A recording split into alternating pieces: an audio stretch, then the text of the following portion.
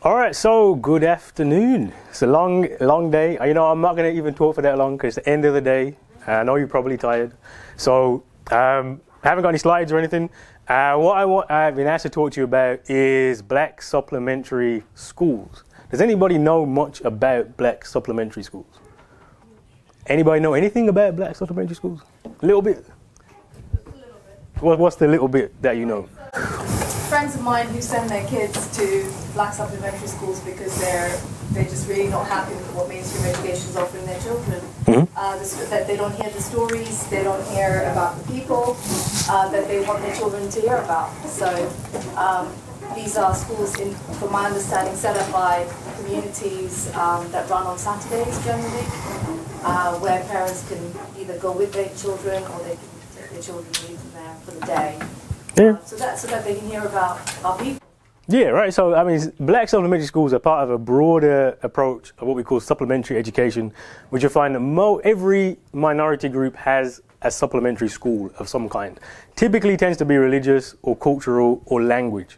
What makes black supplementary schools different is it's not about culture, but, but no, it is sort of about culture, but not primarily. Definitely not about religion and definitely not about language. Uh, black supplementary schools are historically have been existence in the UK for about 50 years, and this is black parents, predominantly Caribbean, or churches or teachers or just people in the community coming together and saying we need to have special classes at the weekend, often, so they're called Saturday schools often, or after school, uh, which are for predominantly for black young people. So, why do you think you would need a 50 year tradition of having a space that took black children uh, predominantly and taught them maths, English, science, etc., etc., as well as um, kind of black history stuff? What, what's the point? Why is that necessary? Do you think? Uh, yeah, potentially. Well, I did. Mm, yes. Okay, I'm going to say yes, and I'm going to come back to yes. Wasn't there a uh, cap on achievement? A cap on achievement? What do you mean? Um, that that they were actually kind of suppressed from achieving above a certain level. I don't know where, where I got that from, but I went on a Black History walk and I seem to remember something like that being said. There's definitely been problems historically with achievement. So if you look at uh, how black young people do in schools, that's still today is still a problem. Back in the 60s, 70s, it was a much bigger problem, huge problem. Um, in fact, there was a book called "How the West Indian Child is Made Educationally Subnormal" by Bernard Coard. Anybody heard of that book? 71. Um, and basically, educationally subnormal is like what we call special needs now, effectively, and up to 70% of some black, uh, in some, was it Haringey? Oh, it was an area in, um, in London, I think it was Haringey. Up to 70% of black Caribbean boys were being de- deemed to be educationally subnormal, special needs, right? Can't learn, or something wrong with them, right? So, yes, context of schools, attainment, etc., etc. Any other reason you think they'd be necessary? The curriculum is politicised to suit certain agendas and there'll be certain um, parts of education that is purposely left out or just not thought about in a certain way. Yes, there's a Mel Chevannes who was in Wolverhampton, still exi- he's still around, uh, said that it's not possible to supplement what does not exist. And if you actually look at the British school, education system, school system, curriculum, it really doesn't have much of black history, black studies in it. There's more so nowadays, but it's so peripheral and so minute that you really couldn't say it, really exists, right? I think. So, in look, historically, certainly 50 years ago, it just wasn't there. So, you've got those two big trends which are pushing the idea of supplementary schools. One, children doing very, very badly in schools. Uh, schools are failing them, or maybe not failing them, depends on how we, depends on how we see it. And two, um, the curriculum is white, right? Why is my curriculum white, etc., etc. You all know this, I'm sure. I went through a whole entire school system, including university, with no, and I learned nothing about any black people ever, like not once, like literally not once, right? Which is so surprise you because that's all I teach now, right? So actually, and this is something I will come back to at the end, is that the school maybe can't. That's why I guess with the, with the failing you, can the school actually um, support you, right? Should you even be looking for the school to support you? That is another, there's a whole debate we're going to get into in the next few minutes. All right, so I wanted to give a bit of context. So that's the kind of the broad context, right? So the context of Saturdays, what we call Saturday schools, supplementary schools, unfortunately hasn't been lots and lots of work done. There's been some work done. Uh, I should probably plug my book on this. I actually wrote the book on the black supplementary school movement, which just tells you how terrible our university system is. That something which existed for 50 whole years which has been a huge part of educational um, resistance and reform in the UK, and nobody had written about it until 2013, right? That's, those are the exclusions in our education system. Or I'll stop calling education system and call it what it is, which is a school system. These are two very, very different things. All right, so I wanted to research Saturday schools. How did I get into Saturday schools? I wanted to do race and education. And if you look at, there's lots and lots and lots and lots and lots and lots about race and education, racism and education, and it's all top down. Right? What do the schools do? What can the teachers do? What can the government do? Blah, blah, blah, blah, blah. Right? And what there wasn't, or hasn't been historically, is a focus on bottom up, grassroots. Look, schools are problematic. We know this. The police are problematic. We know this. The, the, probably more interesting question is what do we do? How do we? How have we tried to overcome this? And how have we pushed uh, things forward? Right. So my approach is to say, well, actually, let's look at Saturday schools, something which people had basically uh, neglected. That isn't how I got the money for my PhD. So my master's and PhD was funded, fully funded. Um, if I'd gone in and asked for funding to study the Black Supplementary School movement, I would have been told no straight away. Jeez, I actually went in and said I wanted to study um, why black boys fail at school. And that's how I got uh, significant funding from the uh, Economic and Social Research Council, which should also tell you something strategically. If anybody wants to go into research or PhDs, you just have to do something which they're going to like the sound of. Otherwise, you're not going to get the money. It's that simple. All right. so that's lesson number one. All right. So when I actually got the money, then I did something completely different. I wanted to look at Saturday schools. We've done some of the context. The context. Um, is important. And I think also ties into uh, some of the things we're talking about around migration, about colonies, about the empire. So if you want to find the most pro royalist, pro empire people, go and find the old Caribbean person. Love the Queen. My, my grandma had a picture of the Queen right, right, but if it's there. Queen, Queen, Queen, royal family, etc., etc.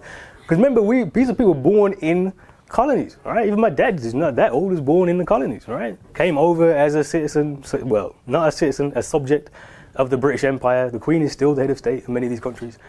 And the royal family, Britain has a very high status place, particularly for the older generation. And so when people were moving from the Caribbean to the UK, they weren't changing country, they were moving from one part of the country to another part of the country. Right? I think this, we, we often forget this. So my dad's passport, I found it, his original passport when he came over here. Um, it's just a it's a British passport. It just says Jamaica on it, as though Jamaica is like Manchester, right? And so because of that, because that's how people came when they when they saw when they thought of Britain, they thought of good schools, uh, they thought of good opportunity. People migrate for two basic reasons: for money and for better lives for their children. And they assumed that the school system in Britain would be great, right? Because this is it's Britain. Of course, it's going to be great. It's going to be wonderful. So for a couple of years, people kind of just put their kids in the schools and accepted the schools would provide what the school should provide. And it was only around the late 60s that they started to realize this was not happening at all, right?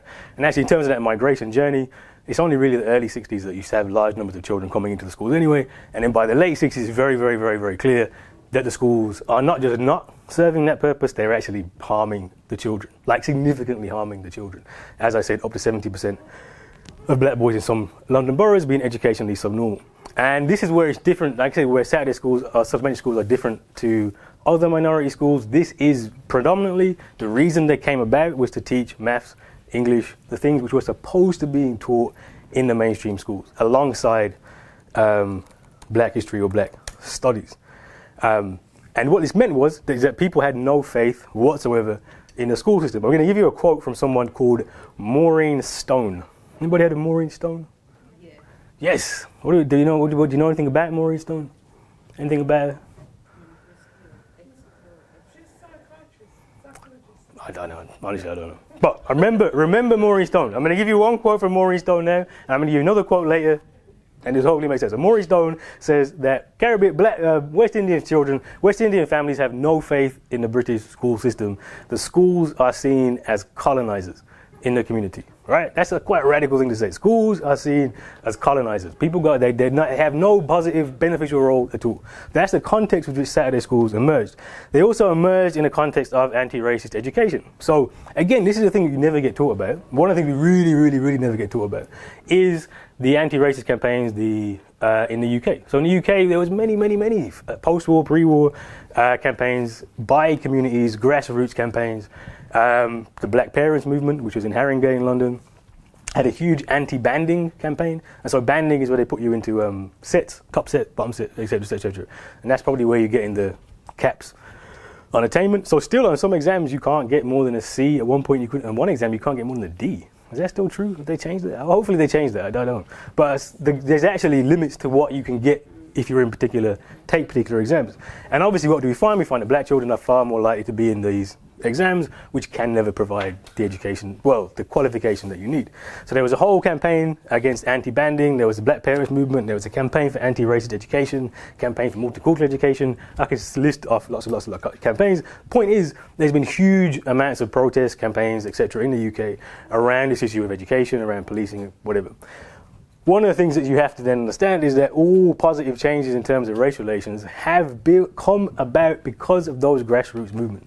It's not that the government just decides one day we're going to have a race relations act that says you outlaw discrimination. That's because of pressure that was put on them by people, by communities, by by mobilization. It's not um, the. Policing is a really good example, right? So if you want to track police reform, the best way to look at it is to track the riots. Because after every riot is when you get a major police reform. Independent Police Complaints Commission, for example, only comes about after the 85 riots. Because once you have riot, movement, social pressure, that's when you get change. And the UK has a long history of, of and I'm sure we've talked about some of that today, and that's something we really, really, really, really, really need to go back to. So, in some ways, you call it the British Civil Rights Movement, which is the way to talk about it. But the question I want to pose is do we need a civil rights movement. Because this, this is the thing, when we don't talk about activism, we really don't talk about the differences in activism. Right? So there are so if you think about resistance, resistance can happen in many, many, many ways. You can have uh, light resistance, you can have strong resistance, you can have reform, you can have revolution. And this is how, we want, this is how I want to discuss the black supplementary school movement, not just in relation to what it is, what did it work, but actually what's the politics behind it, and what does that tell us about the moment we're in today and what we need to do going forward. When we think about civil rights, uh, what is civil rights about, generally, broadly speaking? It's a bit more complicated, but I'm going to make it as simple as possible. Um, what do you think civil rights is about? Civil rights effectively is about reform, and it's about inclusion. Right? So if you think about civil rights approaches, they're saying there's something wrong. The thing that's wrong with society is that we're not included in it. Yeah? So the American example is the best example if you think about segregation and you think about not having the right to vote. Right? And so, what African Americans campaigning for? They're campaigning for the right to be part of, integrated, not to be segregated, and the right to have a vote to be included.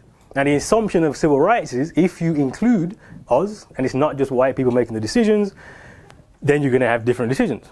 So we come into the system and then we can reform it, you can change it, you can change some of the laws, you can tweak things, etc., etc., etc. Now that exact same approach was adopted uh, in the UK. So the campaigns uh, against anti-banding campaigns, for example, what is that? That's saying include us equally in the school system. The campaigns to have uh, different education, multicultural education, is include us in the system. Right? You have also have campaigns around um, even bus boycotts, We sound very American. We had a bus boycott in Bristol, but it's all about how do we get into the system, how do we reform it, and how do we make it better. Right. So the problem with that is it assumes you can make the system better. And maybe you can't, right? And this is where I want to compensate. There's a different kind of politics. There's a radical version of politics that says system's the system. Can't, you can't change it. You can't improve it. The system isn't failing the children. The system is doing exactly what the system is supposed to do, right?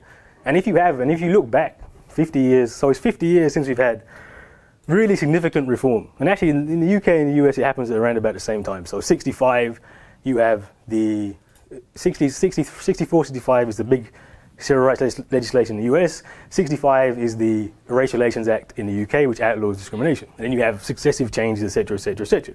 50 years later, look at all the statistics, and it's basically the same. It's, it's different, it's a bit different, but it's largely the same. Right? You may have people like me in good jobs, etc., etc., but most people that look like me at my age aren't doing anywhere near as good as I am. In fact, in some places, there's 40% black male youth unemployment in this country. 40% right? That's like crisis level, third world level of unemployment that really we don't talk about very much. Yeah?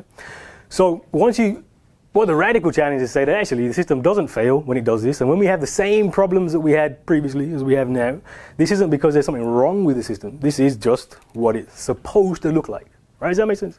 That's what it's supposed to be. So if that's what it's supposed to be, shouldn't we be trying to do something different? Which segues me perfectly into publishing, publicizing my uh, latest book.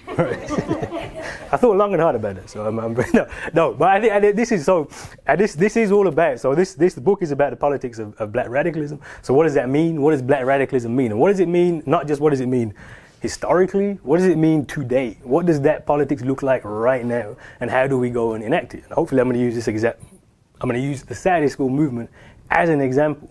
And actually saying that supplementary schools or Saturday schools, as I keep flipping back and forth between that, are, are you can see both the limits of, the pro- of, of, of our struggle that we've done and also the potential of our struggle as well.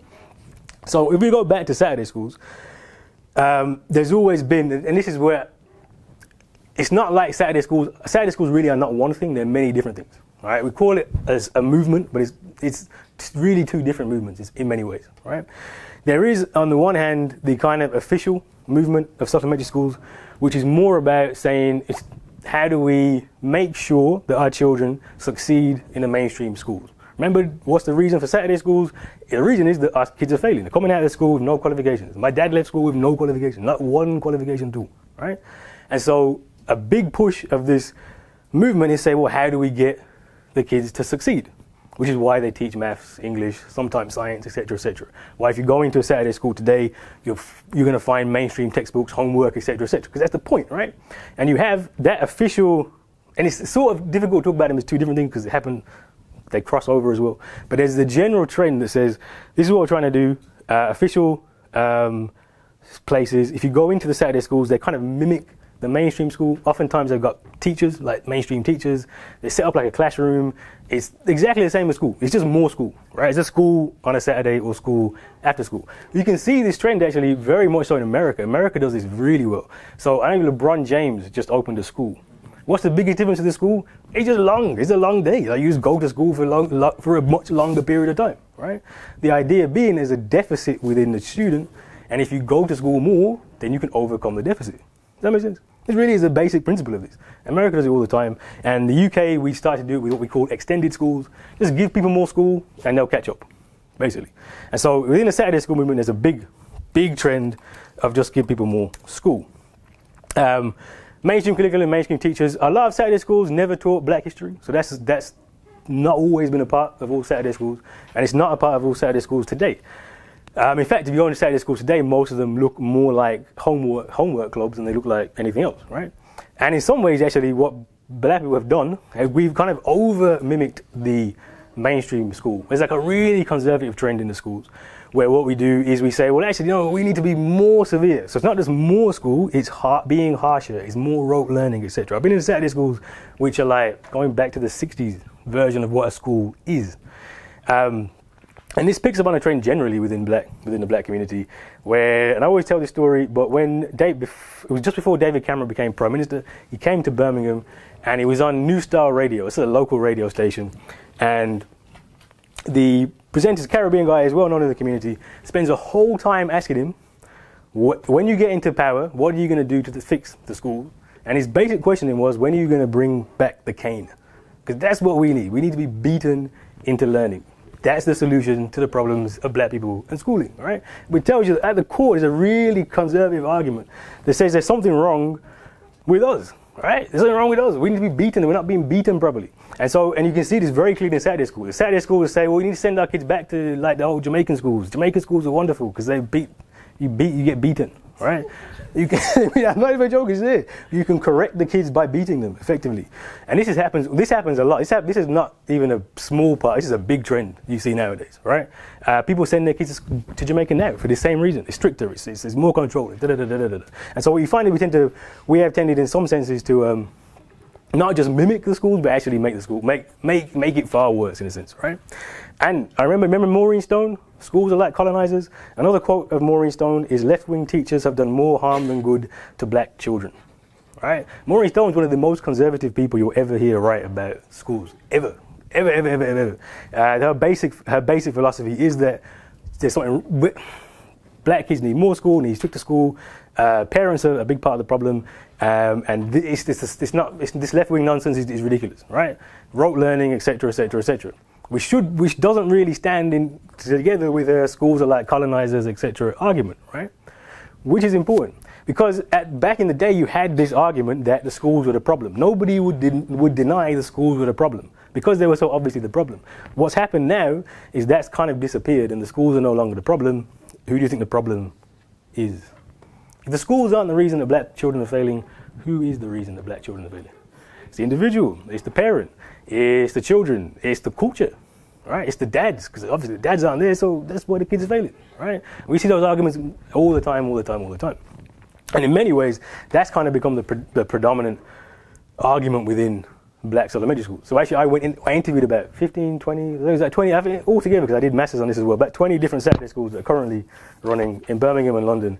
And pretty much every every single one one person who ran a school said it's the parents. Parents are the problem. Parents are the problem. Parents are the problem. That the school is the problem had just kind of fallen into the background, and it was the parents, very, very, very, very much so, the problem. Which tells us that something has happened within within the movement. Um, the other thing that you tend to find is this psychological approach. So even when there is history, it's why do you want to teach black children history? It's because their psychology has been damaged, and if you can fix their psychology by telling them about African kings and queens, then they'll do better in school. Right, and that sounds quite simplistic, but that really is the simplistic nature of the argument. There is something wrong with the children, not something wrong with the school. And actually, what Saturday school is about is about palliative care uh, or nursing triage care for the students. So what you tend to find, so what you find very quickly is that by the 80s, 70s, 80s, the education authorities have come on board. Uh, the ILEA, we used to be the ILEA, Inner London Education Authority, uh, is a conference in 83, said that supplementary schools should be a permanent feature of our provision. Right? These fit very nicely. These conservative trends fit very nicely into the schools. Right? Schools can't teach black kids, so pff, that's fine. We send them to Saturday school. They'll go teach them. Yeah? In fact, extended schools, which Labour bring in, are, are effectively Saturday schools in that in that version. Right? So that's the kind of more conservative civil rights, if you like, approach. Now, within the movement, there was also a more radical version of supplementary education, uh, which was generally called the self-help. We call it self-help, right? And this was centered more on the idea that there's something wrong with the schools, there's something wrong with the education, there's something wrong with the curriculum, and we're going to teach just different things, right? So the best example would be one of the Saturday schools in Birmingham would teach Marxist Leninism. It would like literally have whole classes on what is Marxist Leninism, how do you how do you do that, right? Uh, would talk, have links to the Panthers. Uh, would have talk. Would would take like uh, black feminist texts. Would take Garvey's texts, and have those. Those would be the different texts which you could use, and would really say, well, look, this is something wrong with it, something wrong with the system. How do we do this? It was not funded by the state. Um, one of the very earliest Saturday schools was started by a community organization called the African Caribbean Self Help Organization, uh, which still exists and is, is a sort of radical organization. to actually talk about it in the book, so if anybody wants to know why I said it was sort of radical, um, you can find the answer there. But a sort of radical organization of young people who just said, we're going to do something differently. And when they actually went out to the churches and asked for support for the schools, uh, what do you think the church said? There's no way. Mainstream teachers didn't want to know. Um, the police would actually, the police would go around and knock on people's doors, parents' doors, and say, "Do not send your child to the Saturday school." Like it literally was a properly uh, the state. But what is one of the leaders of the school said? The state wanted to smash us, to destroy us, because we were critical engagement um, and really changing. Kind of the whole point of the school was to get them into different kind of politics. In some ways, it was similar to the Black Panther liberation schools where the Black Panther Liberation Schools is all about teaching you how to do revolution. So this, there's this kind of different trend. Now I don't want to overstate it because that's like, like, that's like one school, and most of the schools weren't like that, like really, really weren't like that. But within that, you can see there is a there is a possibility to do something different, right? Actually, the purpose of the Saturday school isn't just to get people into mainstream education. The purpose of the Saturday school is to change how people are, to change what we do, to change how we, to change to change our politics, right? Um, now, I actually went to that school. So for my PhD, I went to that school, uh, taught in that school, and I have to say it was one of the most depressing things I've ever done because it just all that gone, like radical gone, disappeared, disappeared, gone, hundred percent gone. None of that was there at all. What they had was mainstream school textbooks, uh, mainstream books. Um, it was just all mainstream school, and other than the fact that they had um, African education, African-centered education. And African-centered education, unfortunately, often just turns around the idea of culture, right? So it's how do we teach a different culture? Uh, how do we teach spir- spirituality? And in some ways, that's very, very similar to a religious school, right? To a Sunday school. You're saying there's a different spirituality, there's a different culture you can engage. But it doesn't challenge the mainstream system really at all. It doesn't provide you with a revolutionary education. Um, and it fits, really does fit nicely and squarely into mainstream provision. In fact, some of the Saturday schools which are most uh, praised now are these kind of cultural schools, uh, which just teach. So there are actually schools now that just do culture. It's just African drumming or African dancing or something like that, which is not bad. I'm not saying it's a bad thing, but it's not a revolutionary thing, right? And they become kind of part of that, that, that state as well. So in some ways, just what I'm basically arguing is the kind of radical potential of Saturday schools disappeared. You won't find it. It's gone. It's literally gone. I see why I started doing a different project after the after after I did the did that book, because you just don't find that revolutionary spirit in the movement anymore. And there's many reasons we can go into that. I'm not going to go into. So, what I want to talk about is what can that history tell us about what we need to do today? Because everything I just told, everything I told you previously about the 60s, still basically applies now with the school system, right? You still have massive inequalities in terms of GCSE attainment, particularly for black young people. You still have um, people who are well, people who have three times more likely to be expelled. If you look at what's happening with you know pupil referral units, you know, pupil referral units, those are the places where once they've decided you can't learn, basically, they take you out of the school and put you in a pupil referral unit. And some of them are wonderful, but most of them are terrible. And they're, they're generally ungoverned. Nobody really cares about them at all. And there's some, I had one student who went into one, it was like a prison. Like they literally just put you in a room by yourself, leave you for a day, and then you go, come out and go. And they, kept, they kept, collect the money, right? And all the evidence tells you if you go to a pupil referral unit, you're more likely to go to prison than to do anything else. That basically is school to prison pipeline in the United Kingdom, and it is populated overwhelmingly uh, by black young people. So the problems are still there, right? They haven't gone away. So the question is, what do we need to do about it, right? And similarly to at the time we had the Saturday schools, uh, we kind of have that same moment now. And in some ways, that moment is, is arisen because of universities. And I was the point, universities are just as bad.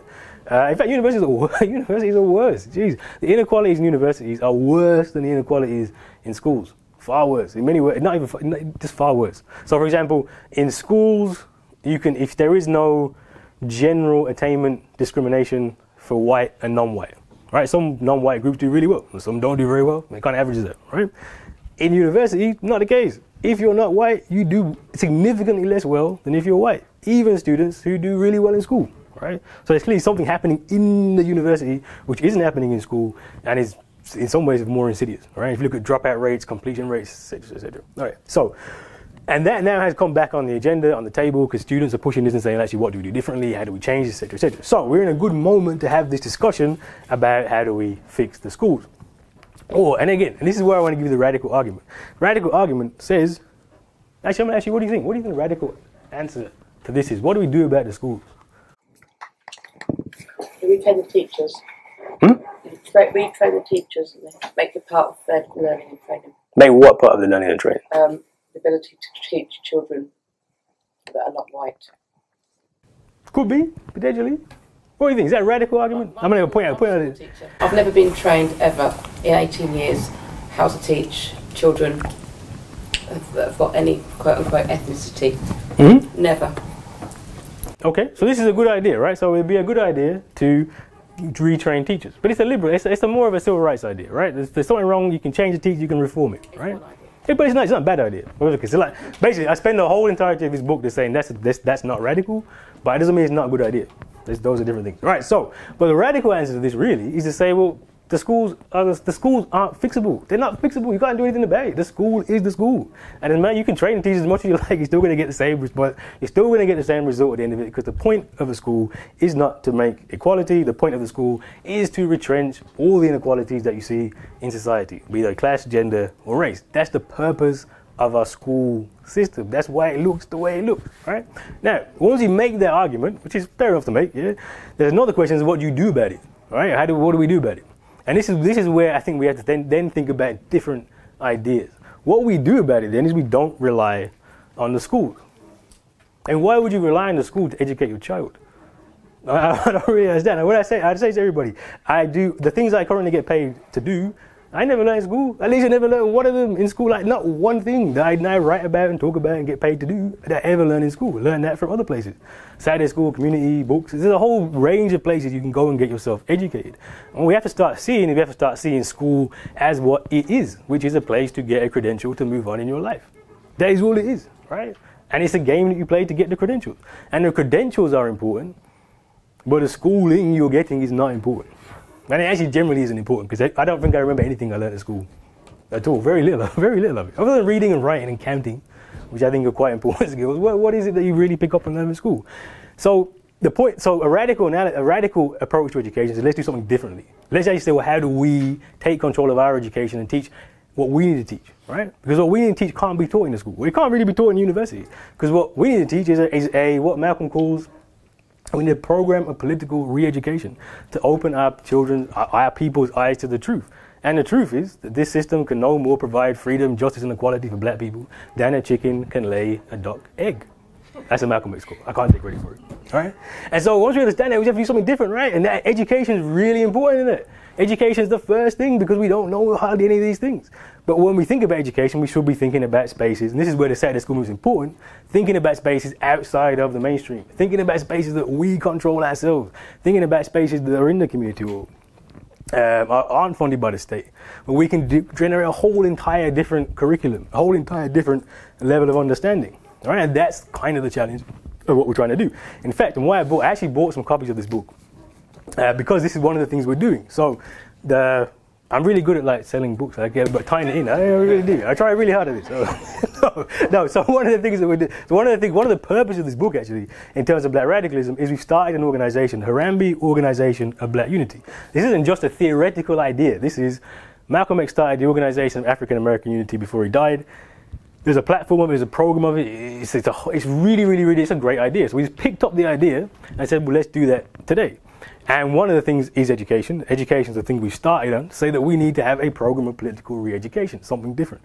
And so the book says we need black radicalism. What is black radicalism? And basically makes the argument for the organization. And one of the things I'm doing today is I've managed to bootleg some copies of the book. Um, and the, all the proceeds goes to, we're starting the Marcus Garvey Education Center in Handsworth in Birmingham, which has a long history of about 70, uh, 50, 30 years, sorry, 30 years, 40 years, sorry. I don't even know. I'm not, you know, I'm not a historian, so I don't know. Yeah, like it's a, while ago. so, it, no, it started in '74. That's where I got confused. Opened in '74, the Marcus Garvey Nursery uh, came into tr- financial problems about 10 years ago, and we're trying to get it reopened. So, 15 pound for a book if you want to buy one, and all the money goes to um, that cause. Um, but the point of that is, and I think that's a lesson from the Saturday School movement, is what did there was a point in time where people found that the schools were harmful to their children they didn't they did go and protest right? They did go and try to get the schools to change and the schools did change. But alongside doing that they said that we are going to have to educate our own children. And they went out and educated their own children. There's a whole generation of people who literally wouldn't be where they are today without the saturday school movement. In fact Akala if you read Akala's book uh, natives has a, he keeps talking about it. I went to my saturday school and this i went to my saturday school and that. Without that you don't have Akala you just don't. It, it wouldn't exist. It'd be, it'd be someone which is lost somewhere, right? And those are the kind of things that we need to support in this moment. It's not all about what the state can do. Sometimes it's about what we can do, and that's the message we should take forward. Thank you. Do you think that when it comes to like a primary education system, because I don't know the school, I'm from the states, so I don't know how it's broken, breaking up like primary school, middle school, high school, mm-hmm. for primary school. Don't, don't you think that um, radicalism or black radicalism can be taught in schools, like especially when it comes to certain communities. Because like in the states, like in inner city neighborhoods, we have like a lot of charter schools, which are already types of schools that people are not very fond of, but like they work in a lot of inner city mm-hmm. neighborhoods. Because like my mom's a social worker um, in a lot of the charter schools, and they don't teach direct black um, uh, radicalism, but they do teach them about their place in society, and they do teach them about um, systemized oppression. You know, because a lot of at, at the end of the day, most of the, most of the kids see their teachers more than they see their parents. You know, and I think that if there's a mix between like parents being able to teach their kids and also teachers taking responsibility for knowing their children's place in society, I think that it could be a mix of both, especially if they have the tools to do that. You know, I think that there's already going to be a set of tools that the teachers are going to have to teach the kids that come from the state, which is it is what it is. But I think that there's also projects that eh, there's projects that teachers can do with the kids and a type of language they can use when they're with the kids to kind of keep them in a certain type of mindset that they don't have to focus just what's what's on the book, but know that they have to pass those exams to continue on. Yeah, so I mean, one of the arguments we've made is we want to start a, a black school, effectively, right? And you, you, in theory, you can do that with the law. You can got we've got free schools here, uh, so you could, in theory, do it, right? Problem is, state's funding the thing, right? And state doesn't like to fund things which are radical. All right, so and then schools, there have been people who've tried to start. I wouldn't say similar, but it's kind of, they say similar ideas, and they haven't got the money, haven't got the funding. It's been told now that's a terrible idea, right? But it doesn't mean it's not possible, and I think it's certainly possible. I think the problem is, and if you look at a lot of the charter schools in the states, if you look at the historically black colleges and universities, even they just tend to more often than not they tend to mimic the mainstream values even when they're positive things. So, for example, I said LeBron James' school, it's, a, it's not a bad thing. Who's going to say it's a bad thing that you're getting people into school, you're getting them college, etc., etc., etc. But look at the general philosophy of it. It's not, it's not a radical philosophy. And I think that often we don't find that within these movements. That doesn't mean it's not possible. It's definitely possible. It's definitely something we should aim for. But I think that's being, it has to be embedded into the politics of what you're doing because it's very, it's very easy to drift into something else, I think. But,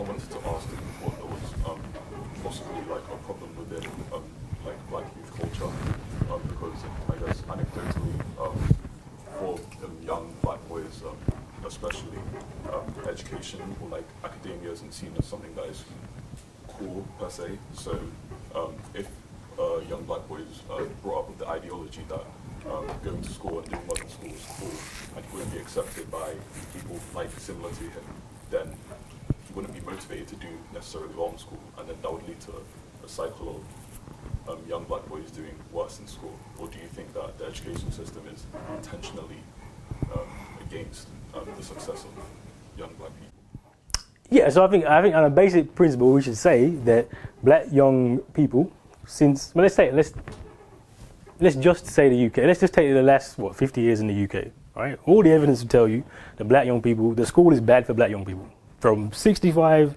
to today. In fact, I can show you a, there's a graph that shows that on attain, when they do the attainment things, when black children enter school, they're generally a bit higher attainment-wise in terms of these little attainment things, and every year it goes down, down, down, down, down, down, down until the end of the end of the school, they're at the bottom, right? So it's actually something about the school itself. Now, certainly, I mean, look, I grew, geez, I grew up, I, I went to school. I understand, I understand how that plays out, and there is, there is, it would be wrong to say there's not an anti-school culture for some black people. There is, right? Who's been called a coconut or a bounty bar because you did well in school, right? Those things happen. Those exist. Those are real things, right? But is that the problem? No, that's a symptom of the problem. Of course, black young people are rejecting school because the school rejects black young people. It's a logical thing to do. That's why it's, it's, it's, it's, the, it's the thing you should do. In fact, the school is anti-black people. So why would you want to make school cool? Because school's bad for you, right? Generally speaking. And so and when and I, and I, say that not to be glib, right? Because you do have to attack, you do have to attack the anti, not the anti-school culture. The, there's the conflation of school and education. Those are different things. So for those young black people who say that school, we don't like school, I'd go fair enough. You shouldn't like school, but you should love education, which is a different thing, right? And once you love education, that will allow you to play the game in school. Because that's the problem. There is, a, there is definitely there is that culture exists, and it's, and it's negative and it's harmful. But the solution to that isn't to get young people to fully embrace the school is to do something else. And also, even if we all did embrace the school, do you really think that's going to make a difference? Like, really? That's not going to change. The way the people, for, when first Caribbean kids came to the schools, there was no anti school culture. They just came to school and went to school. And what happened? They came out with no educational qualifications. So it's not the solution, it's a symptom. And so I talk about this a lot in the book, it's symptom. There are many symptoms to the problem, but the problem is the system itself. We got Tommy Undo? Yeah. We finished? Yes. All right. Well, we're going to end. I will overtime. Thank you. If you want to buy a book, I'm going to bet.